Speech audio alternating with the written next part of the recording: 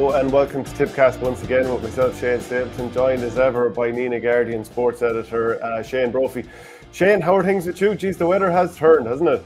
Oh, jeez, I'm just looking outside at it here now, and I'm saying, Jesus, uh, you could do, I could be doing something better for the next hour, but sure, look, we'll we'll talk some waffle about hurling and football and camogie, and sure, we'll we'll we'll get that part done anyway. So. Well, to be fair, like it's actually been a largely positive few days for Tipperary GA. Yeah. Now, I know the Camogie team won't be well. Neither the senior nor the minor Camogie team will necessarily agree with that after narrow defeats. There, bitter pills to swallow. But I suppose we're just focused on the men's team and men's teams initially. Yeah. Tipperary beating uh, Antrim seven twenty nine to one seventeen. Okay, fine. The game isn't all that meaningful um, because there was nothing at stake. But that's a great boost. And then the footballers making it four wins in a row when maybe a month ago we were thinking, you know, where's this team going in Division Four? Like it has been a great weekend for the men's teams. Oh, it has, yeah. Look, it's it's, it's like a, we've unfortunately that sort of um, I think it was 15, 20 years ago when the we, we were watching English football and this panic reaction every time a couple of bad results against you and uh, went uh, against you and the sky started to fall in and these guys all it takes is one result for a bit of positivity to come back. Like and I I, I um I suppose starting with the hurlers, I think look, you can't get too carried away with a win, big win over Antrim, but you can always take a small couple of nuggets from a game like that, where okay, Antrim rested a few guys, um, their intensity levels probably weren't up to the levels you would have hoped for an opposition. But look, they have bigger fish to fry with Offaly next weekend. It's hard to hard to blame them. But look, I, I would still think, um, I don't know if you would agree that you can always take a couple of positive things. I thought puck outs were better. I thought our intent in terms of getting the ball into our forward line was better, a bit more understanding between the backs and the forwards. And I would have thought last Sunday we were probably about 12 to 13 of this team injury permitting that will start in Walsh Park and in the first round of the championship. Oh, I, I think there were a lot of positives there. And like what you're saying, in terms of like you put up seven, like basically win a game by 30 points, but Mm. can you still take something from it? I would say, yeah, you, you'd be thinking Tip scored one goal in four games before this, and that came from a mistake from Kilkenny goalkeeper Eoin Murphy, you know, rare enough from him that he'd hit a ball out to Denis Maher and he'd feed Jake Morris for a goal. But Tip weren't really creating chances in the sense of through their own work. Sometimes they'd turn over the opposition, they'd have a chance like Jake Morris had one um, the last day out against Waterford. Remember, he, ju- he just put it low past the far post. But in this game, it was goal chance after goal chance, and whose fingerprints were on pretty much all of it, only Mark Keogh. So, And, you know, and we said it on the show a couple of weeks ago. sure, He had a couple of times, a couple of times against Waterford. He didn't take on his man. He was settled for the easy point. He didn't do it this time. Did you get the sense that the team went out there with instruction, lads? We're going to start taking our man on here because, like, there, there's no point in always leaning back and hitting the point Mm. over the shoulder, a lovely little pretty point. A lot of the times they don't go over anyway. But you can't win championships, etc., without scoring goals. Oh, I think there, there's definitely from an intent right from word go, and um, well, we for sure like first ball that went in, Mark Keogh took on his man, and like they, there was even a few maybe half chances that maybe they were left behind, maybe where the point really should have been taken. Like they they probably fight tried to force the goal too much, but I think the the pure example of that is John McGrath. You were thinking like John McGrath, he he had a few chances earlier on to maybe take an easy score just to work himself into the game, but no, he tried to work on the pass. Um, he, he stuck to the game plan, which I thought was just pure John McGrath. Like he wasn't going to put himself in front of the the game plan, even though he desperately needed a bit of um, confidence. And you could see it in a few of his early possessions that he came in, like he he was jittery, a bit uncertain about himself. But once he got the first point and then the goal after that, he was away. And like it just all it takes is a small thing. And I I, I think John McGrath will be feeling an awful lot good about himself in training this week. It's just a pity for maybe him that we don't have another game coming this weekend. But I know Colm has. Um, they are playing a challenge match this Sunday. I'm not sure who it is against. I presume it'll be either Dublin or Galway by the process of elimination. So, um, but like that challenge match would be ideal for John. Get get get him another game. If he plays well there again, you'd have to think a, a confident John McGrath has to start against Waterford. Yeah, and like you and I rate him very highly. We've Yeah. always spoken highly of him. But if anyone else had been playing the way he has for Tipperary the past couple of years, they probably wouldn't be getting Yeah. continuing to be getting chances. But it's right to stick with him. I, I think last year against Clare, that game where you know Aidan McCarthy gave away the penalty, if you want yeah. to call it that, even though it was more or less out on the Ennis Road, um, and and that was a tough day for him. But Jesus, like this is an example where hopefully the club form can be brought in with the county, and you know it hasn't happened for him straight away. But maybe that I, second I think, half where he got two, three, all of a sudden confidence is going. Yeah, and I think um, I think giving him a floating role, maybe maybe if him and Noel were actually close to, to each other, maybe around the, that centre forward area, like I think that could play to Tip's hands, and maybe maybe leave Keogh and um, maybe Jake Morris is maybe the two inside, or maybe Jake Morris maybe drifting in there too. Like you got like, there's exciting possibilities there if they get the right type of ball, because I don't care what defenders are out there in the best defenders in the country. If if tip forwards get good quality ball and are left one on one or a chance of t- getting a goal, Jesus, I I you'd back a tip forward any every day of the week.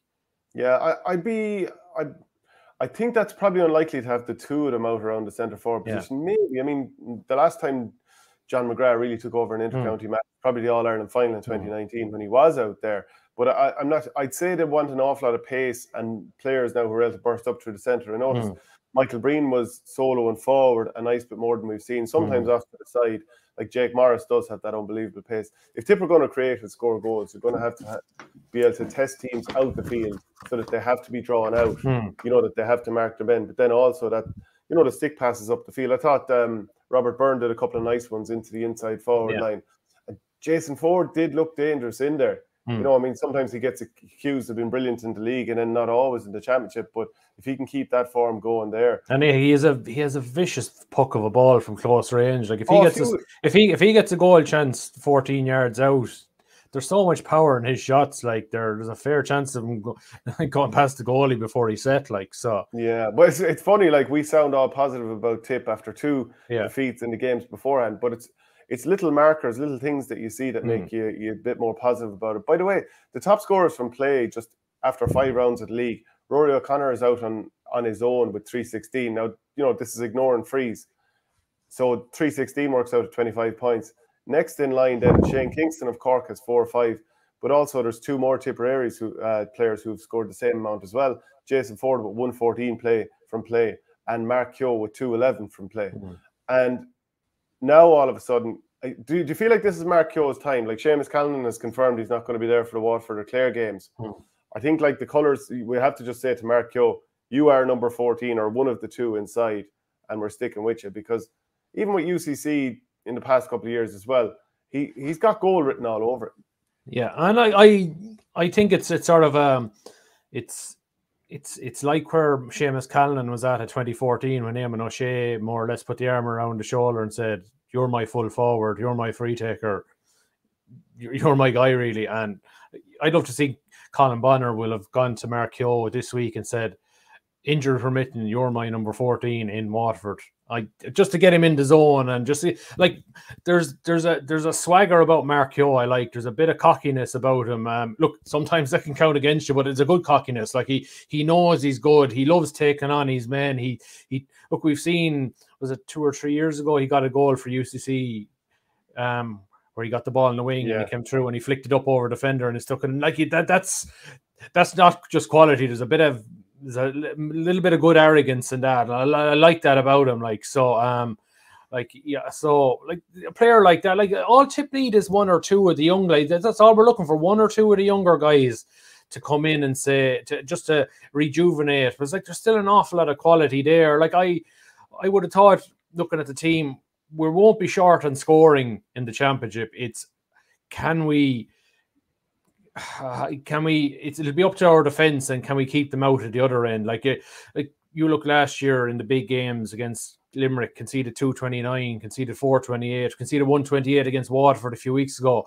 They're they're just too like that's that's putting too much pressure on the forwards to score at the other end. So, like I I'd like to think maybe over the next four weeks it'll be all about getting the um getting the defense right, getting them to the right pitch of intensity and and physicality to to I suppose, withstand what other other teams will be bringing against us. Yeah, it's a good point. Boom Boom 43 says Keogh generates serious power for his goal attempts. Keep the comments coming in. Let us know who you've been impressed by, who you'd like to see being given that chance for championship. Yeah, you, you make a fair point with the amount being conceded. Sometimes, though, the root of the problem is not not enough pressure being put on outfield because yeah. a few times you look at the tip backs in the last couple of years and they're left alone and they're left one on one and not much support coming mm. and the ball coming in is coming in too lovely and and yeah. that's not a sustainable approach but just tip scoring though, though throughout the league i mean this was 729 in one game is unbelievable yeah. before that 21 points 119 21 points 21 points like tip do have to become more consistent in terms of putting up decent scores and that that comes through a bit of variety through the play what what did you make of seeing the likes of Seamus Kennedy continuing upfield and then Keogh gave him a lovely ball over the top and he buried one from just the edge of the penalty area. Um, Ronan Maher again scoring from distance mm. in this game. So maybe maybe there's a few more players that are now going to be able to contribute scores as well. Yeah, no, I I I, I like the, the, the Kennedy goal just because he took it upon himself. Okay, his his direct marker, the Antrim um, wing forward, had gone missing, but Seamus, I suppose it wasn't Seamus' mentality was okay. I'll just stay at home and mind my own patch and maybe let let the forwards do their bit. He he saw the possibility there. Okay, I, I'm in a bit of space here. The ball's going up to the corner. There's nobody in front of me. If if I make the run and Mark sees me, we have a two on one here. And look, it ended up the back. And I just love that bit of proact proactivity there. Um, so um, like that, that, that would that, that definitely was I, I, I like that and I'd like to think we'll probably see a bit more of that going forward. Yeah, and um, and comment there from Boom Boom forty three again. Strange win by thirty points with no score from midfield. Yeah, that that is uh, definitely a point to be made. Well, Conor, Conor Stakelum did score a couple yeah, when he came in, but it, it, was hard to tell whether he was midfield or. Oh yeah, no, I think he was. I think he was midfield, and I suppose he did get two, but I think he shot three wides. He was a bit eager too, and wasn't for the one to try in from the middle of the field. Um, yeah, Barry Heffernan, Heffernan he, he too, did, he? yeah, but he was busy, like so. Um, I have no, um, I have no issue there. Like I, I, I actually think it's it's like you see other teams and there's so many scores coming from far out, and like, I suppose maybe there was one criticism from maybe Tip. We were maybe shooting too much from the half back line, maybe in recent years. Whereas now, look, if we get the six forwards to do what they should be doing most of the time and getting up the majority of the scores, that's what we need them to do. I think I do think maybe if Tipper to be all contenders this year and successful, our our two midfielders will nearly need to be more defensive orientated and forward orientated, if you know what I mean. Well, they, they need to be able to carry the ball through the middle yeah. as well. So I can understand the thought process behind yeah. uh, putting Barry Heffernan there. I can understand having Dan McCormack in there because you need someone who's yeah. kind of got that defensive know-how of, of being a screen there. Um, I, I thought Jared Brown might get a bit of game time. He'd obviously missed the last day out would like to have seen him. Would like to have seen maybe Gearóid O'Connor get a game because again, this is a young player who's done well in the Fitzgibbon Cup with UL. Mm. You know, why not give him his bow as well and just see, you know, what can he bring to the table? I was I was a little disappointed that he wasn't playing.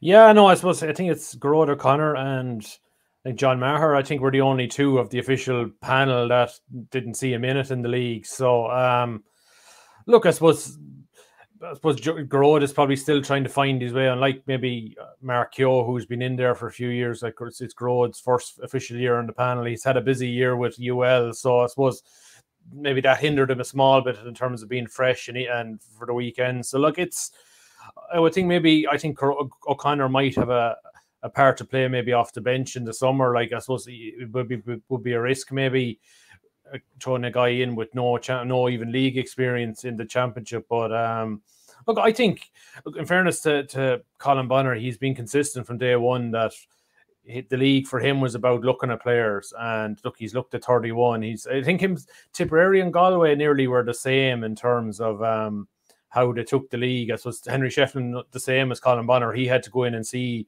who he had and um, first before he could maybe try to put a you put that at the expense of trying to get a settled team. But I suppose I would have think, I, as I said earlier, I would have thought after last weekend, you're probably looking at maybe 12, 13 of the team injury permitting that will play in Waterford. I think Jake Morris will come back in fit and firing. And after that, um, I'm not sure. I I think it's probably a toss of a coin between John McGrath and Conor Bowe, maybe to start as well in the summer. And I'm not sure. I think Seamus Kennedy will be one wing back. I'm not sure about whether Robert Byrne has done enough to be your number five on the other wing, but um, he's done nothing wrong. I think Byrne and Quigley, I think you're in the same boat.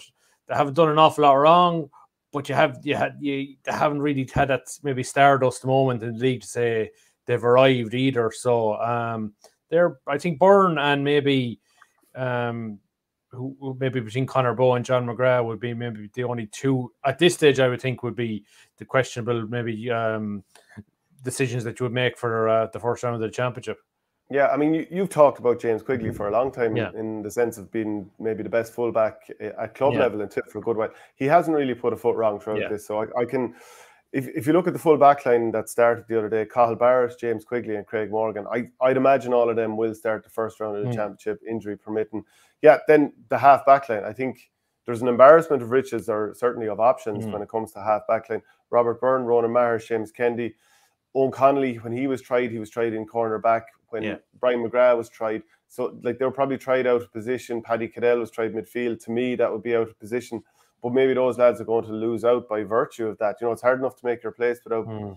you know being thrown in at the deep end in a position you're not suited. I like the like the, Harry the, Heffernan, I'd see the wing back. So I think there's an element of square pegs and round holes with some of this. Yeah, yeah. There seem to be. I'd say it looks like they're going to hit on Heffernan for the middle of the field. I would have thought maybe if Willie Connors was still there you could have maybe afford to put Barry back at wing back and have Willie in the middle of the field. Was Willie such a good link man? Like he's a very good user of the ball, but unfortunately he's not there. Um, like Alan Flynn, sort of a player that the league has sort of just passed him by. Maybe like Alan Flynn's best position, pound for pound, is in the half back line, but he's playing a lot more of his hurling for tip in the middle of the field.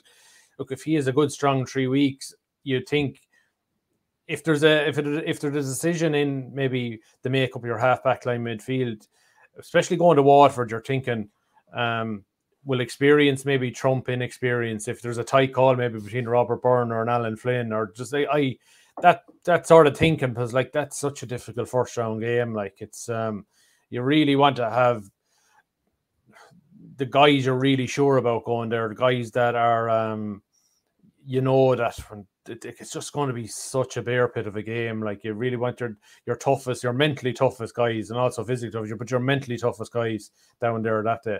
Yeah, it's so key to pick lads in positions where they're naturally yeah. Suited to that. So like Rona, having Ronan Maher at six rather than seven, I think is going to work out well. That if he drives out through the centre, he can take a score. You don't. Yeah. I mean, you don't want him taking eight shots in a game, but like he can score, and he like you can see that from a number of the players they were looking for that nice inside stick mm. pass into Keogh and you know Jason uh, Forde and John McGrath. And I think on another day, Tip could have scored even more, which is ridiculous when he scored 729. Yeah. Uh, and Seamus Kennedy, you know, he was playing that number six role, kind of the sweeper before Ronan Maher came back.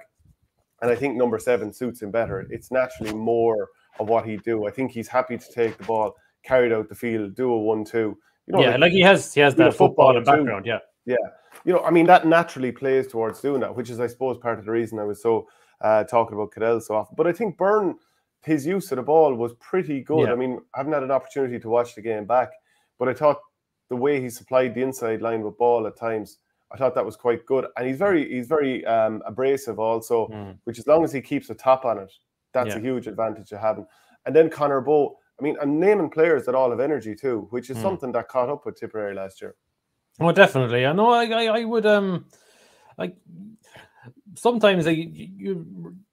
It was, it was the maybe, uh, sorry, I'm mumbling there a bit, but just over the last 10 years, the amount of times like Tip would have got to league semi finals, the league finals, and they lost, and you're going into the championship in a downer. And um, like sometimes maybe finishing up the league, maybe not getting to a semi final, and maybe a small bit like okay, the one easily last weekend, but like you're you're sort of going in with a small bit more momentum, like you would have maybe if Tip did get to a semi final and and or final and it didn't work out.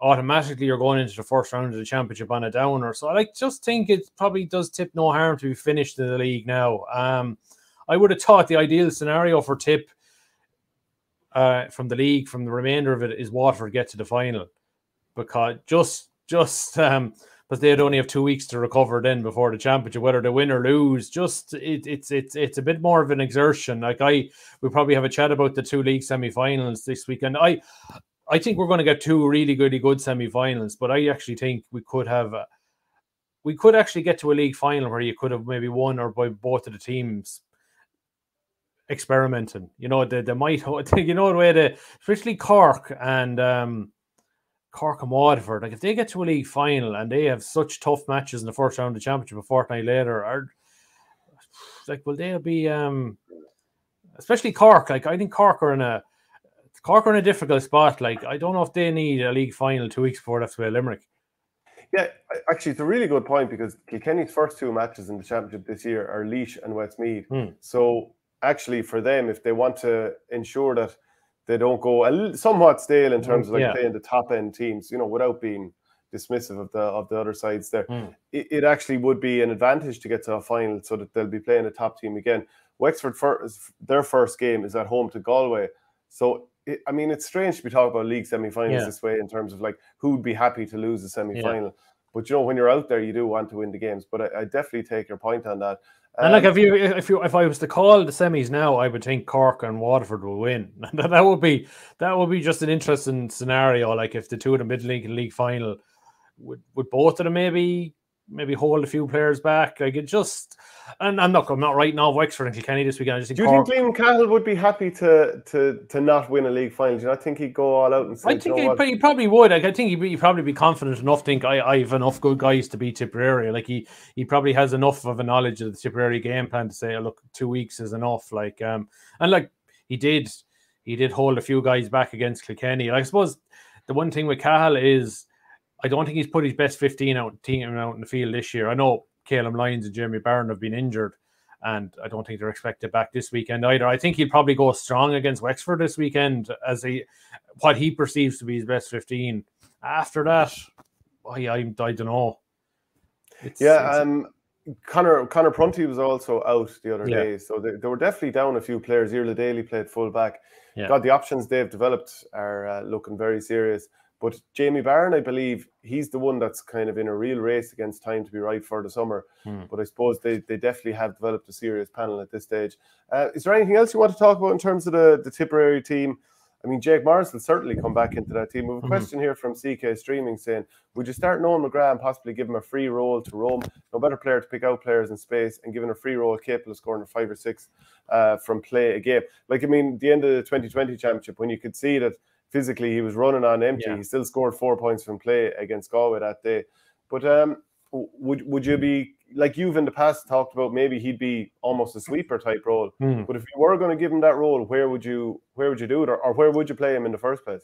Yeah, I look. I thought I thought he was. Um, I, I thought he was decent now at centre forward. Now the last day, I just thought he, particularly in the first half, I just thought he ran. I while Keogh got two, two, two in the first half, and he set up the three goals. I just thought Noel McGrath's presence around the 40 and back into midfield. Anytime he got in the ball, you just thought there was a calmness and that everybody around him sort of relaxed a small bit and he you knew he was going to do the right thing with the ball. Like so um like the thing with Noel is do you go with him for 50 minutes but then maybe lose his his his guile and his smarts for the last 20 or do you hold him and start him bring him on 10 minutes into the second half when other lads I are beginning to tire like it's like you say look you, you get as much out of him then you take him off but I, I think you can't beat those the match all these championship matches are going to be won the last 15 20 minutes and they're starting like so it's yeah um, it's a um, fair point because you, yeah. you might just want someone who's got unbelievable endless energy for the first 15 yeah. minutes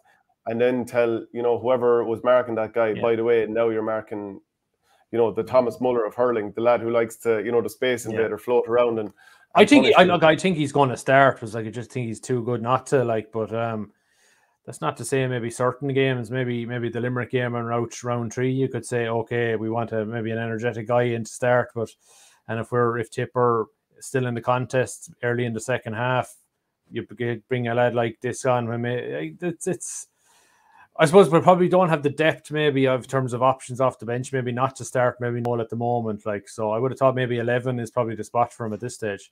Yeah, the crowd was definitely I, happy to see Patrick Bonnar Maher back on the field, your own club man. Yeah, yeah, it was, it was great to see him back. And um, he got a great cheer when he was announced at halftime, and like every time he got on the ball or was near the ball, you just that uh, bit of an extra bit of a roar from the crowd came up, and it, it, I just thought it was very funny. Like the, the the criticism of Bonnar over the years is that um his weaknesses in his shooting, and he, he maybe he he doesn't maybe take on enough shots, and maybe he passes off the ball enough. First, the last day, nearly every time he got a shot, a, a sight a goal, he was having a shot, and they were all probably poor efforts or uh, not great. Like, but um, he he reminded me just he reminded me of a young lad coming back in for the first time and looking to impress and maybe not taking the right option. But look, you know well, like, uh, he probably felt he had to prove something to a new manager. And look, I I think a guy like that coming on, I think he will definitely be a guy 45, 50 minutes into a big championship game that's going to be strong sprung from the bench because um,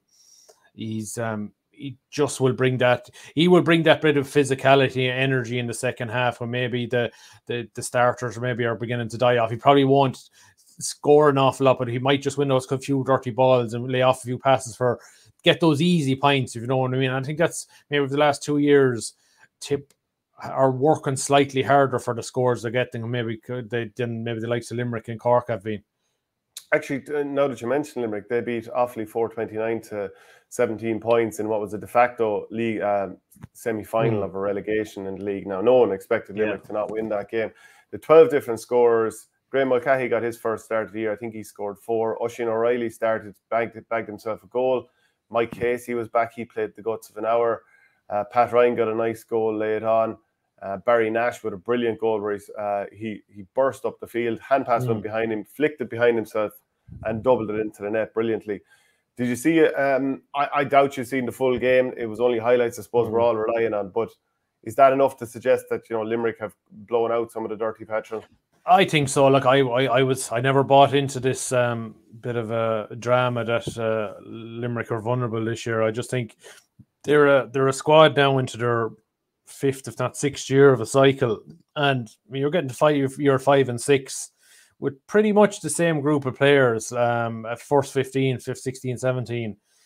You can't, you can't go hard in the league and expect to have something left in the tank in the championship. Like I think, I think Limerick are doing exactly what they did last year slow and steady early on, build and build and build. You, I, I did remark last year when they beat Cork in a Munster semi final, I thought they were poor enough.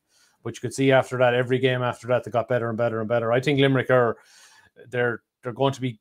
I think they'll they'll hit the ground running because they have to. Because Cork and Waterford are on paper they're probably their two toughest games in the Munster Championship are coming in the space of six days right at the start. Where if you can hit the round running there, maybe get two wins, you can afford maybe to taper off a bit then and then come back up again for an All Ireland quarter, semi, and final. So um, I I I'd have no not that I'm saying Limerick are going to beat Cork the first round of the championship. I I'd have no worries that Limerick won't come, won't perform that day. That mm. whether to win is another thing. Yeah, actually, a, a word on Antrim, seen as where you know they're managed yeah. by Darren Gleeson, Tipperary man. Uh, they did make some changes. They changed the goalkeeper. They, uh, they like Neil McManus wasn't tugged. Other other players like Jared Walsh, he he wasn't started. Uh, Donald Nugent came on and scored a goal. Uh, Keelan Molloy scored five points, for, you know, mm. here and up midfield. So that would be a concern for Tipperary that, that a player can do that in the space of mm. one half. But um, any any word on them and what Darren Gleeson is doing? Is he just thinking bigger fish to fry and we'll take this hammering? Yeah, I think so. Like I, I when we went over to the the to the dressing rooms after last Sunday, I suppose there we there was there were no official interviews because of the the the GPA stance. But even when Darren was sort of chatting to us in terms of I can't talk, lads. He was very relaxed, as if it was. I wouldn't say the game didn't matter, but I, I think he knew, and I think he, that look, and I, th- I think Offaly were the same. Like they were on a hiding to nothing both teams last weekend, but they did.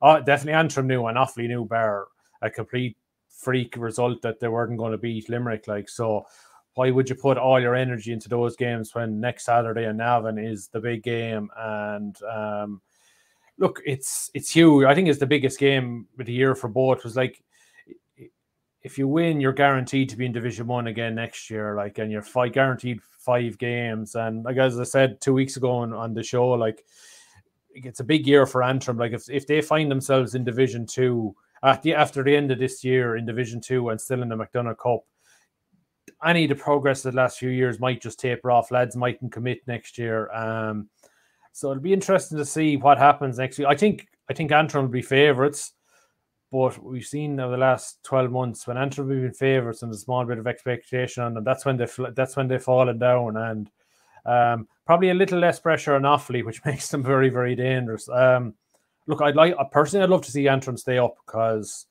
I've like I think one I have never been to a Tipperary game in Antrim, and I could tip if Antrim stay up, tip getting away game in Antrim next year. I think a lot of Tip fans probably have never ticked off Antrim on their bucket list, so that that's that's my selfish motive anyway. But I, I think it's um, I think it's a very very tight one to call. I Antrim are favourites, but you'd be you, you worry about them with the favourites tag. Yeah, uh, between them, they lost their games at the weekend by 54 points. Yeah. I mean, neither of them will be going in on the top of the ground. And obviously, Antrim mm. quite frustrated losing that game to Laois yeah. the week before or the round before. How do you see Cork and Kilkenny going this weekend? Like Cork won 137 to 132 after extra time in the All Ireland mm. semi final last year. Would look like a team that should have won that game. Well, there were six up late on in normal time before that that good comeback from the Cats. But um, like Kilkenny do look like they're after finding new players this year. They and I'd include the likes of Mikey Butler there, David Blanchfield. Mm. Um, but they've also redeployed some of the older players. So Wally Walsh, he looks like he's a little bit reinvigorated. Cillian Buckley is more or less in the half forward line, but Roman mm. from there. And then Pádraig Walsh, who funny, like believe it or not, he's actually 30 now, yeah. but he's still such a, a vibrant player he's gone up to the half forward line and he's their second top scorer, even though he's only played four to five league games with 15 points. Yeah, I know they're, they're, they're unreal, Kilkenny. Um, I, I, I, I know it was something that came into my mind, and I've actually heard a few people saying it since that after the, the tip Kilkenny match in the league, you would have said that Kilkenny would be the the one of the the four, it's so-called four in Leinster that wouldn't get through. You said they were so poor that day, but look, yeah. they've kicked on since. Um, I don't think even if they lose to Cork this weekend, you'd say it's been a bad league for them. Look, it said they found players, Cian Kenny in the middle of the field, excellent. David Blanchfield, very very good at wing back. Um, like Paddy Deegan's probably going to be their six. Like you know, they're. I think Cody has. I think it's been a clever move. Cody will always get six very, very solid guys to play in defence because, like he and he, he Kilkenny will always play a good defence.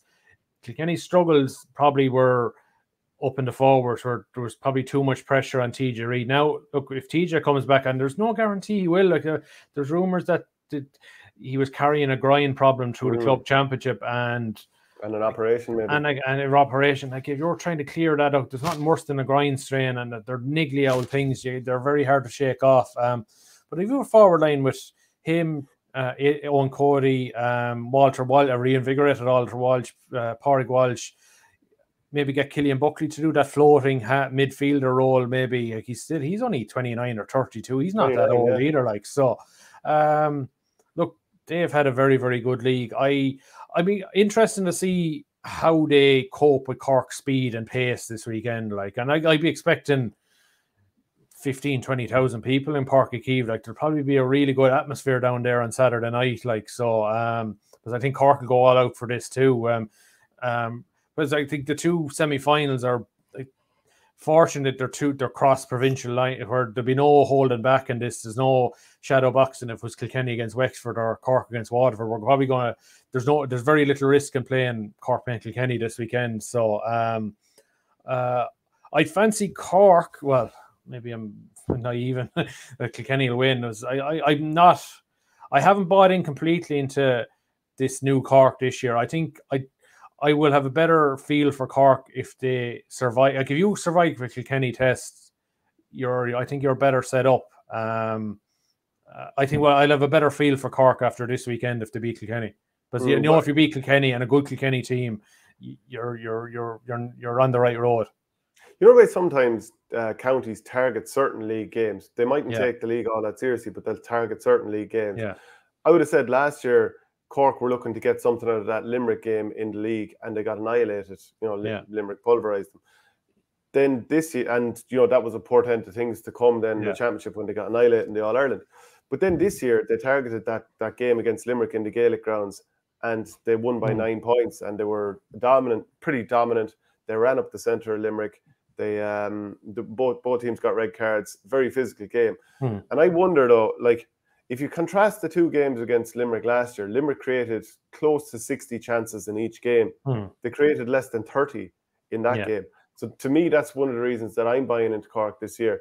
Now that might have little bearing on this game, but Kilkenny, like you talked about their defence, they've only conceded one goal in their last four games. Like so, they conceded three Mm. to Antrim the first day out, one which was a, a goalkeeping mistake against Tipperary, which it wasn't a created chance. So they're actually unbelievably tight at the back. I'd see Cork winning this game, but probably Mm. just a puck of a ball in it. Then Waterford against um, Wexford is a clash of the Tipperary managers. Ah, this is that. This is why I think Cahill will go strong. I, I, I Cahill is full focus on Waterford now, but there's not. You can't tell me that at the back of his mind he's not a little bit worried, maybe of Darragh Egan. Like if you're if you're thinking of being future tip managers, these two are probably one and two in the pecking order now at this stage, and Hmm. um, but you can't tell me that. Okay, Jesus, if if Wex, if Waterford, if Wexford win this Sunday, that's that's another peg in and Federer and Darren and Darragh Egan's cap. And I know you're not, you're probably looking at two, three, four years down the line before maybe there's another tip vacancy comes around. But I just, I do think maybe there. If I was to, I'm not, I won't be at the game. I, I, if I was, it's definitely the game of the two I'm more interested in this weekend. I just think, um, from that, I just think the Tipperary element to this will be a, a, a nice bit of a sideshow. Yeah, but probably only to people like us. I'd Yeah. the rest of the country w- w- couldn't care a jot. Um, how do you see it going? Waterford last won it in 2015. Pauric Mm. Mahony was top scorer in that league, actually, alongside Mm. um, Patrick Horgan. Um, Wexford last won it in 1973. Yeah. And believe it or not, long-time Cork um, administrator Frank Murphy was the referee Mm. that day. Yeah, I um, I don't. God, it's a hard one to call, isn't it? Like Isn't it? Wexford, Yeah. five from five, very, very good. Waterford, probably over the last couple of games, even in the win against Tip, now didn't put out. They they sort of mixed and matched. I think they'll injury permitting, they'll go back to. I think we'll have Stephen Bennett will be back. I think Prunty will be back. Um, I think there's. I think you probably get Desi Hutchinson another start again this weekend. Just I suppose to get lads um in just been a bit more of a sink uh, Pauric Mahony, like just to get maybe if he's perceived maybe best 15 and a bit of uh get a bit of a balance there. I probably I probably nudge towards Waterford just because because they're further along in their development, but that's not to say just the Wexford momentum won't carry them through. Um, like they've been very, very good. And look, they arguably have the the player of the league in, in Rory O'Connor so far. And look, I've said it from the very start. I think there was going to be a liberation in Wexford this year, and this, this, I just think, particularly among their forwards, like their Darragh Egan was going to be more forward orientated, and like they had, I say they had Rory O'Connor and um, McDonald, like two of the best forwards in the country, who I wouldn't say prevented from doing their best work, but they weren't allowed to show their true ability over the last few years, just in the way the, the system of play that that Wexford had with with um with Davy Fitz. I just think there's definitely more of a forward oriented being and playing to the strengths of the likes of those two. Yeah, it'll be a brilliant game to watch. We'll talk about the Tipperary footballers now. They had a 216 to 11 points win over Carlow at the weekend. It's four wins on the spin. Kevin Fahey uh, got a late burst of 1 1 to crown the performance. Mikey O'Shea had scored a goal earlier in the second half. Carlow also had a man sent off late on. So we know that Tipperary still have promotion in their own hands. And this weekend will play London, knowing a win will secure promotion to Division Three. So it's, Yeah. it's starting to look very good. Yeah, it's it's it's some turnaround from um, the the first two games, like the poor performance in the draw with Waterford and a, a, an equally poor performance in the last to home loss to Leitrim. You said, "Geez, they, they, they were really struggling. Like they didn't Mm. look like they were going anywhere." But like it's it's remarkable. I just think from people who don't see them that often, like the level of performance from the first two to the last four games has been completely different, and like they're way more forward orientated, more more intensity to what they're doing. And like you, you were there on Sunday, like the, the tip kicked nine points in play in the first 20 minutes, and they were all fabulous scores. Like, mm-hmm. really, like oh, Conor Sweeney, two shots off the shoulder. Like, they, they, they were, there was understanding of what they're doing. Like, they were making clever runs. Like, Conor was making a run out to win, and if he got the ball, and he was on his left. He was having a shot. Or he was, there weren't stupid shots, but like they were well created. Um, lost their way in the last 15 minutes of the first half, allowed Carlow back into it. But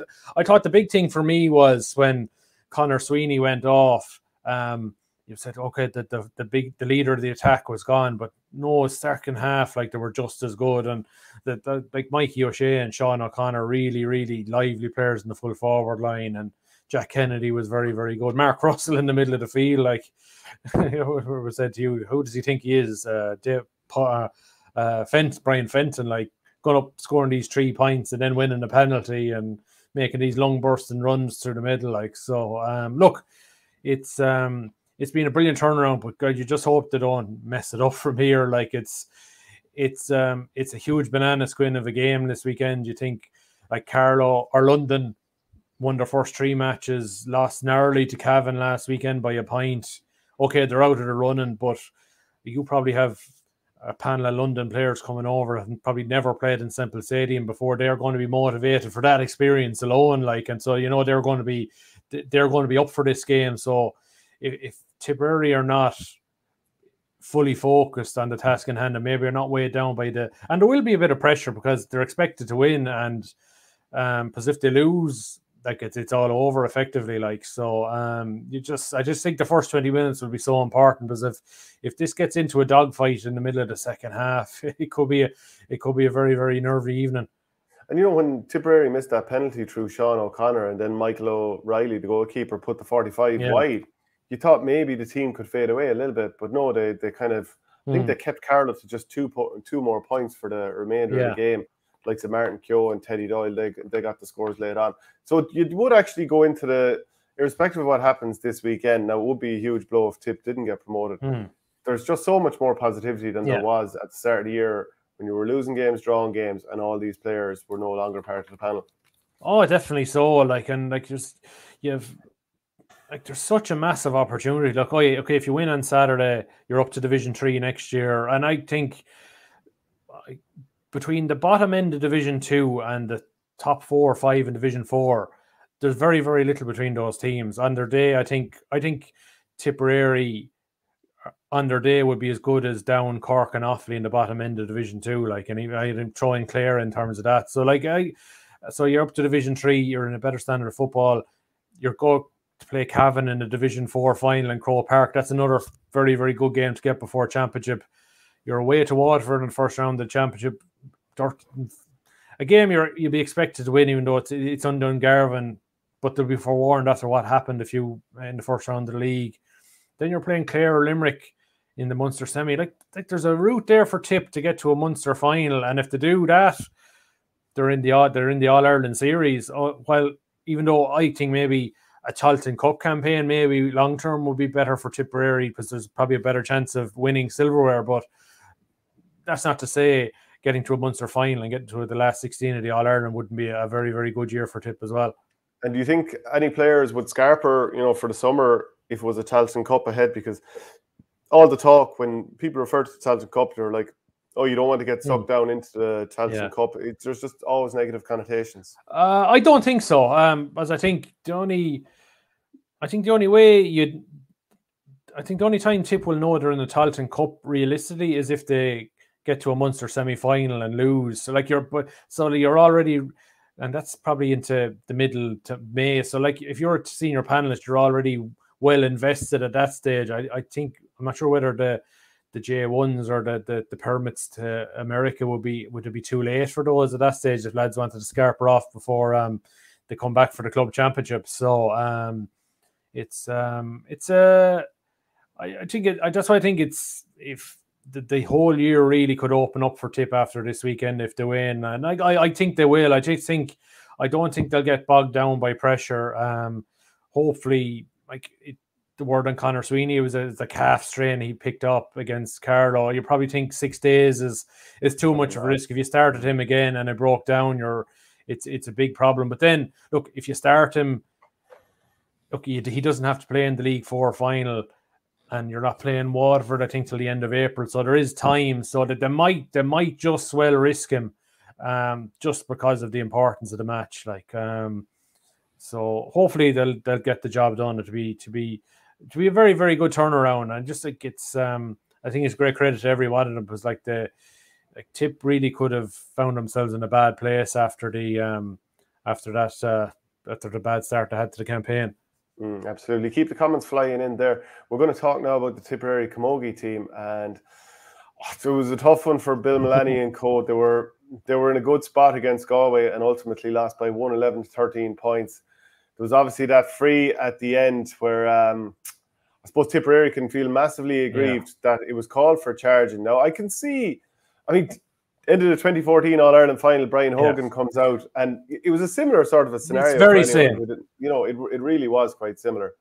Uh, yeah, um, we're talking. I'll, I'll bring it up on screen here actually in a second. Yeah, I just showed you the, the clip. It, it um, I, it did. That was the that was the thing that came into my head. Like, and we would have all come back to 2014 that Brian Hogan that he was probably hard done by. I would have thought there was no free there either. That it was just really a collision. Really, Pádraig Maher stood his ground it wasn't really a barge or it wasn't really a foul by the defender. And I, I think that's the very same here because um, it's um, you see Claire Hogan I, I, I, like she really turned like she I can't really say she was barging like because like she she like I, I, I, what your you thoughts? See how the referee might interpret yeah. it that way, though. She does go straight. Mm, yeah, yeah, part of me thinking it might actually be a free.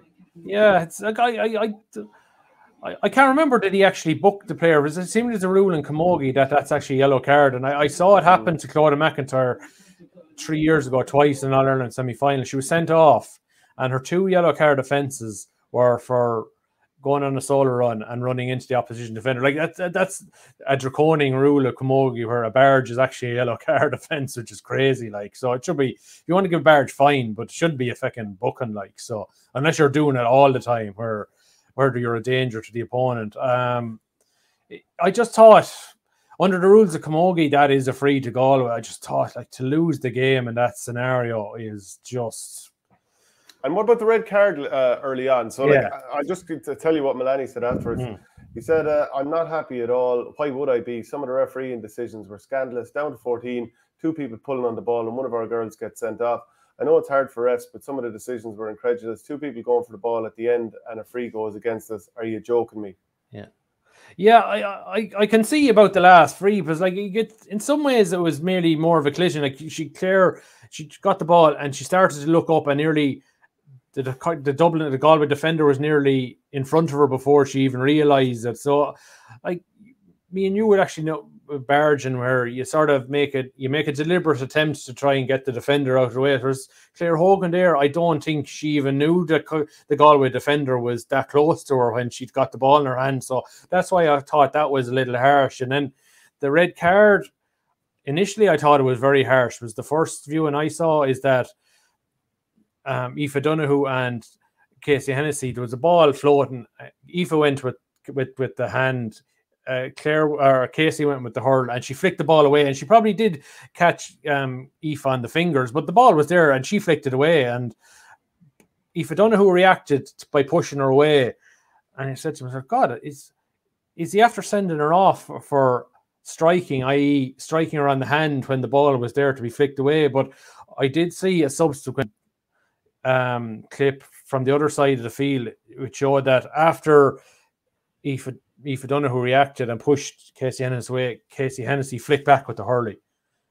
And I don't think she connected with Aoife Donoghue, but it didn't look good. Like the like we saw in same in hurling. If you there's there's a strike and, and the intention to strike is also when when she flung back with the curly in response to Aoife Donoghue, that it gave the referee or the, the, decision to make. And like anytime, if you give it the referee a decision to make, you're you're asking for trouble. And look, in some ways, it was probably harsh. But look, in, when when I saw the following up in the clip, I said to myself, the referee probably got it right, and it's probably going to be a harsh lesson for Casey to learn going forward. Because I would have thought 15 on 15 Tip would have won that game. Like they yeah. were like to be to be against the the best team in the country in Galway, who had to bring the McGrath sisters off the bench to win that game with four with, with an extra player. Like so, like um, so look, frustrating. Like what's the one thing we've been saying early on Tippcast as we started this talking Tip Camogie? They're so close, and every time they're up against the big tree, they always feel to seem like losing narrowly. I just, I just, I can't wait for the day they're going to win a big game against one of the big three because the, the, a group of players are not going to deserve it more. I'd just be hoping that there's sort of a cause within the panel now yeah. that we're going to get over the line. We pushed the All Ireland champions this hard. We were down to 14 players for 50 minutes, and it somehow helps drive them over the line and kind of, um, yeah, I don't know, just fuels them that bit more. Um, Paul Tierney says um, experience probably won out for Galway. Milk and Freeze hard loss, but the team are going places. Yeah. Can you can you tell us then about the the minor team, the, the Tipperary Minors, who had again narrow defeat this time to Cork? Yeah, I suppose you t- at the end of last week you were said um, when Ursuline and, and presentation Thurles both won All Ireland schools final. You think, God, this is going to be a great weekend, and then the seniors lose they miss out on the league final by a point, and then the minors lose an All Ireland minor semi final by a point. Just just shows you, um, look, in top level sport is cruel, but look, it, it's the results at the end of the day. But there's no doubt, tip at at all levels, Camogie are as good, if not are as good as the other the big three as we know them. It's just it's just about getting the the results now. And um, look, um, I, I would have no doubt there's a lot of those minors are going to go on over the next few years to play at senior level and will get their own back in Cork. It's just um, reading Thomas Conway's report in the paper, it was uh, one seven to nine points, very low scoring game, but that doesn't tell the story. He said this was an unbelievable game. It was just if you get a game like that, you know, well, it's full blooded committed. There's no space, and it was just a, merely the fact that Cork were a point up when time ran out. Really, if it went on another five minutes, Tip might have got a point or two to nudge back in front. It was it was that just that tight, and just Tip Tip didn't couldn't have done much more to win that game. It was just a tight game that they were just narrowly on the wrong side of. Okay, I think we pretty much have everything covered for this week. Shane, any any final thoughts heading into this weekend? For the um, footballers, I suppose. Yeah, sure. Hopefully, the the win that get through it. I suppose that'd be the big thing for this week. And so just to mention, uh, I don't know if you saw the draws last night. North Championship, we're, we're back on again. I think it's uh, Lee and Tuam in the first round. Like, sure, sell Same tickets for that. So. And uh, Killer one against Killadangan. So, like, you can't. It's, it's great the old draws. It's, uh, the league started this weekend and last weekend, and the weather's looking good. So, the, yeah. the, the exciting year ahead. Yeah, absolutely. And don't forget to pick up a copy of the Nenagh Guardian. It's available now. Thanks very much, Shane. Yeah. Cheers. Talk to you again.